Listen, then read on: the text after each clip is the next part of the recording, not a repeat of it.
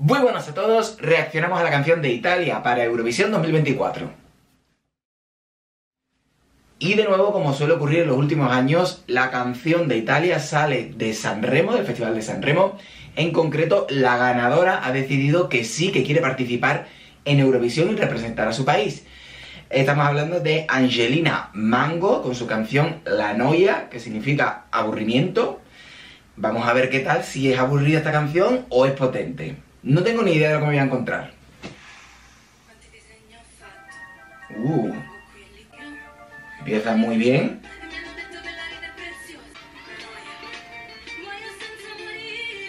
Muy bien a nivel vocal y muy buena actitud, ¿eh?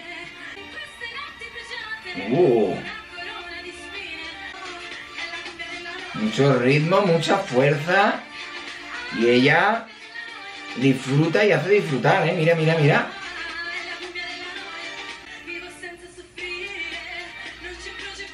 Muy bien también el control de respiración, ¿eh? Porque la canción va como muy precipitada y ella domina muy bien y a nivel vocal mantiene, ¿eh?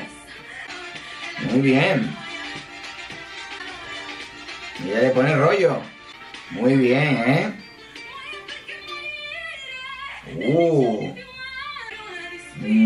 Nivel vocal, ¿eh?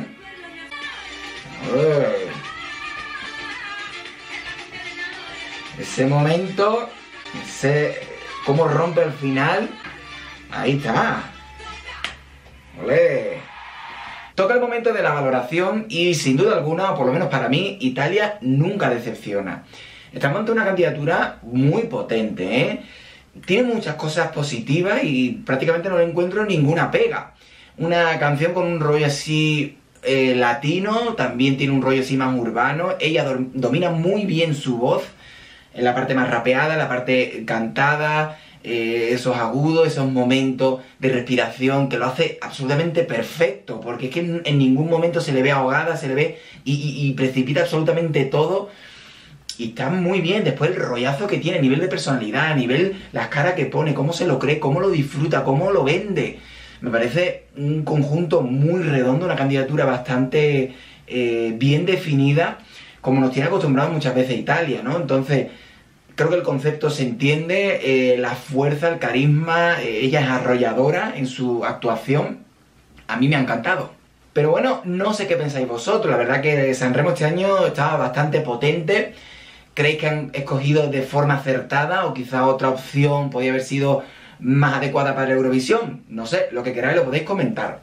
Si os ha gustado el vídeo podéis darle a like por supuesto, como también suscribiros al canal y darle a la campanita para que os llegue absolutamente todo y no os perdáis nada. Nos seguimos viendo como siempre aquí en Random Spain Blog.